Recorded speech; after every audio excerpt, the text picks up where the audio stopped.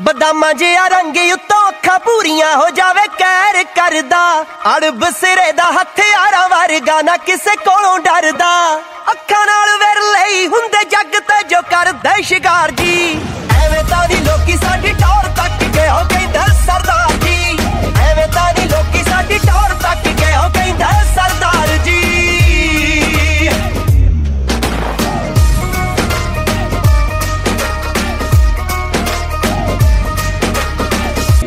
ਐਵੇਂ ਤਾਂ ਨਹੀਂ ਐਵੇਂ ਤਾਂ ਲੋਕੀ ਸਾਡੀ ਟੌਰ ਤੱਕ ਗਏ ਹੋ